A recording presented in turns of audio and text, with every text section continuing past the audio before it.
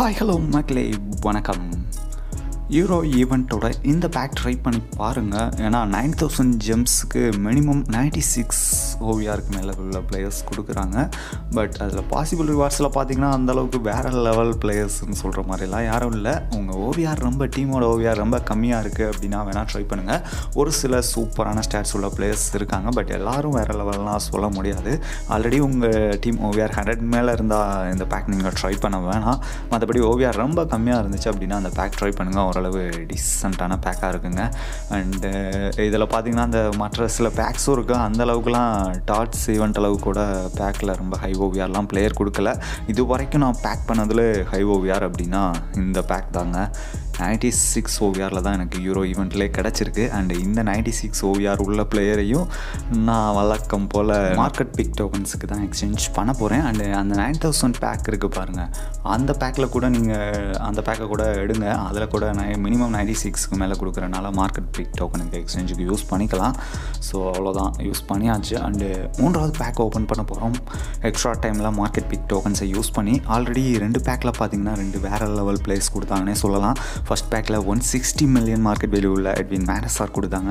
ரெண்டாவது பேக்கில் பார்த்தீங்க அப்படின்னா டெல்க்லிஸ் கொடுத்துருந்தாங்க. ஸோ மூன்றாவது பேக் டாப் ஃபைவ் ஹண்ட்ரட் தான் இந்த டைமும் சூஸ் பண்ணியிருக்கோம். சாபியலோன்சோ அண்டு அக்கோஸ்டா ரெண்டு பேர் மட்டும்தாங்க நைன்டி ஃபைவ் ஓவிஆரில் இருக்காங்க.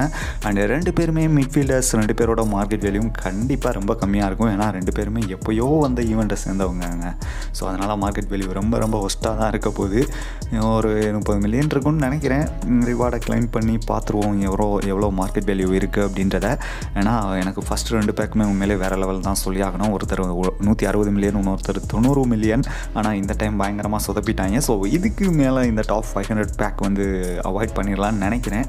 அந்த சிக்ஸ் தௌசண்ட் பாயிண்ட்ஸுக்கு அந்த pack top fifty pack try பண்ணிட்டு அதுக்கப்புறம் கடைசியில் ட்ரை பண்ணலாம்.